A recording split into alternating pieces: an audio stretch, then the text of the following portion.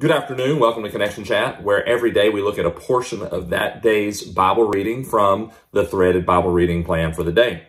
Today we read 1 Kings chapters 5 through 7, which continues the story of King Solomon. After I read the, the chapters this morning, I found myself just kind of overwhelmed and swamped by some details in, in the chapters and kind of walked away going, what in the world? If you've not had a chance to read the text, please press pause and, and go back and read it and then come watch this video. If you have already read the chapters, then you can identify with what I experienced this morning. I don't always do this, but today I decided to read a commentary uh, to see what they had to say about the chapters. And the very first paragraph in my ESV expositors, uh, expository commentary says this, and I couldn't help but laugh after I read it.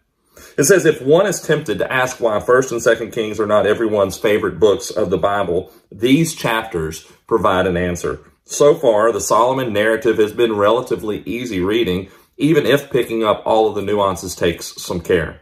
Even the details of chapter 4 are sufficiently rooted in a narrative context to be negotiated relatively easily. And then we run into chapters 5 through 7. That just made me laugh because chapters 5 through 7 was just a challenge to read. It had so many details. It just seemed overwhelming. It kind of walked away going, what is the point of all of these details? But I wanted us to look at a few of the verses and see how we can learn from Solomon and actually some of the mistakes that he makes in these chapters. In chapter 6, it begins to describe how Solomon built the temple. It says at the beginning, it says in verse 1, in the 480th year after the people of Israel came out of the land of Egypt, in the fourth year of Solomon's reign over Israel, in the month of Ziv, which is the second month he began to build the house of the Lord. I want you to hear the size of it. Just kind of pay attention to the numbers. I know you may not know what a cubit is, but pay attention to the numbers. The house that King Solomon built for the Lord was 60 cubits long, 20 cubits wide, and 30 cubits high. So it was 60 by 20 by 30. I want us to contrast that with what it says in, in chapter 7 about his own palace chapter 7, verse 1, beginning there, it says Solomon was, was building his own house 13 years and he finished his entire house. He built the house of, of uh, the forest of, of Lebanon. Here's its dimensions. Its length was a 100 cubits and its breadth 50 cubits and its height 30 cubits. When compared to his house, the temple is small. Uh, the temple, again, its measurements is 60 by 20 by 30. The palace was 100 by 50 by 30.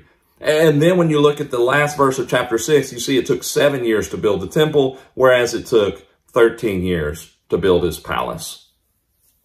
So if you were to walk through Jerusalem uh, during the time of Solomon, and you were to see the palace and the temple, there would be a noticeable difference between the extravagance of it and the size of it. And really, you would walk away knowing where Solomon's heart really was.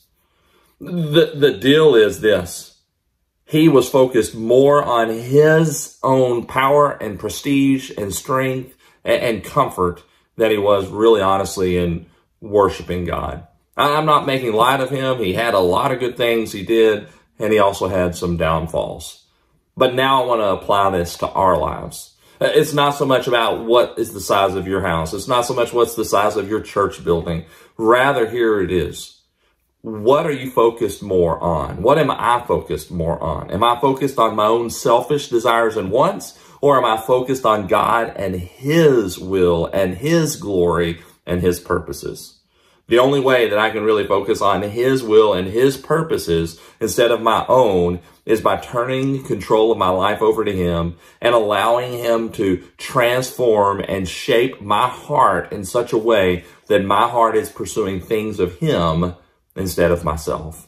So this morning, I want you, or this afternoon, I want you to think about who are you pursuing? Are you pursuing your own stuff or are you pursuing God and His glory? My prayer is that we would pursue Him.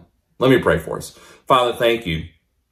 Thank you for being with us, even when we read chapters of the Bible that just seem so long and maybe even boring at times.